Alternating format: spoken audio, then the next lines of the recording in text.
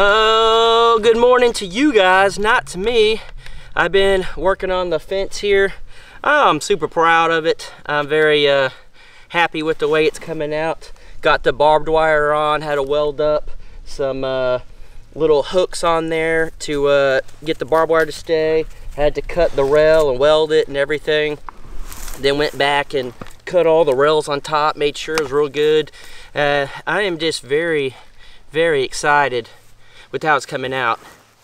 It has taken a long time, a lot longer than expected, uh, than I would like and hope, but this is the front entrance to our property and we take a lot of pride in what we do here and uh, it's been a while we feel like we've had so many ups and downs and twists and turns and things happen in our life that being here we feel like a like truly like a whole a whole new start, a whole new chapter.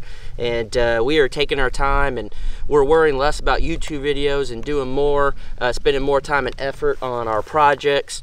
Uh, being a YouTuber, it is very difficult to do and uh, to find the balance in that because again, we've talked about it before, but uh, you, you got to put out content to make money so you don't have to go work a normal job and do all that stuff. Um, it, it is a thing right now where Danielle, she's right now going to be gone for a week uh, training for her new position. Some people were like, What are you talking about? Why, where, is she going to be? She quit her job.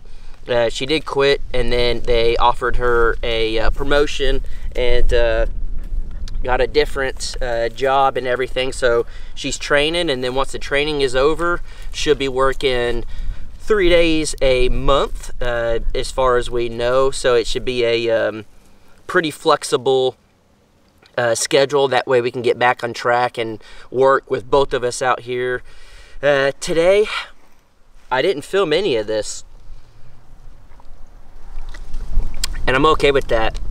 It felt really good and I don't know how, how else to say this, but it felt really, really good to just work and concentrate and not worry about filming. I was going to try to film it and stuff, and I was just like, you know what? I just, I don't want to. I want to focus on getting it done correctly and, and spend all my time figuring it out. Again, this is the front, this is the first thing people see when they're pulling up. It's going to help keep uh, trespassers from coming in because yes we do have a problem with that unfortunately. Uh, not just because we're in this neighborhood or this area or whatever. When you put your life on the internet you get a lot of people hating and i'm sure you guys see videos out there all the time. Uh, people like that will do anything to bring someone else down and, and come try to make their life miserable. Uh, but also it's a pretty tall fence. Um, it's literally almost as tall as I am.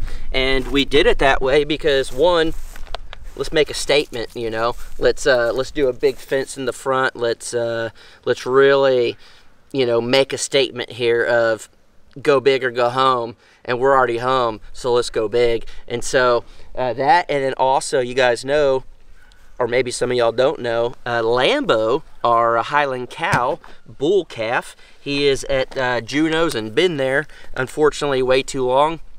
So massive shout out to the Juneau's for uh, continuing to be our friends and take care of our boy.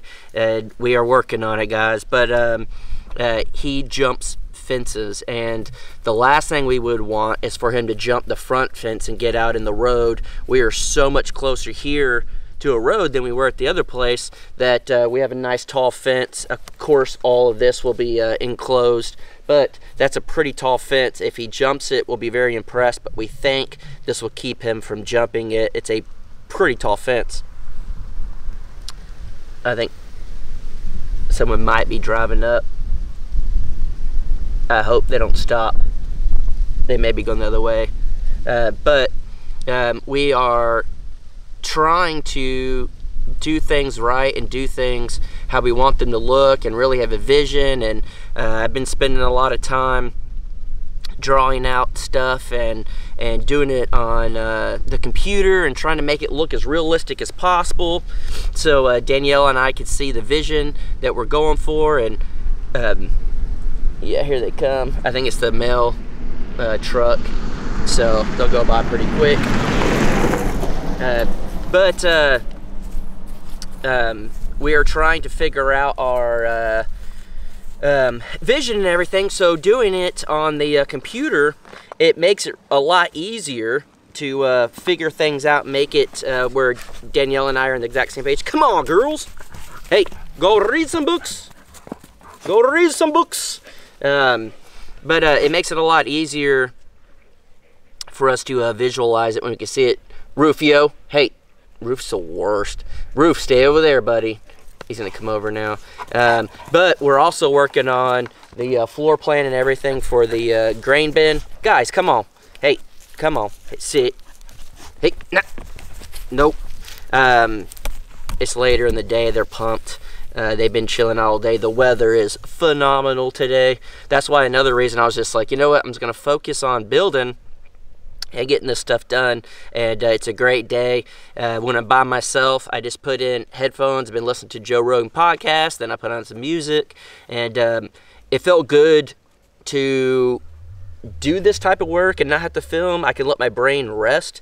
Uh, last night, I could not sleep. I stayed up till like 3 or 4 a.m. I don't remember and didn't get a whole lot of uh, rest. And I was thinking about how we're going to build the barn how we're going to build out the grain silo or the grain bin. Rufio hey come here boy. He likes to go to the road.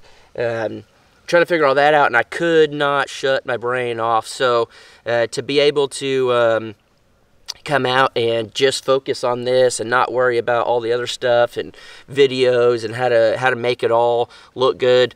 Um, I just I just shut it off. I zoned out. I put music in, podcast, and um, I I know this is a hard thing for people to to realize how my brain works and even Danielle and stuff.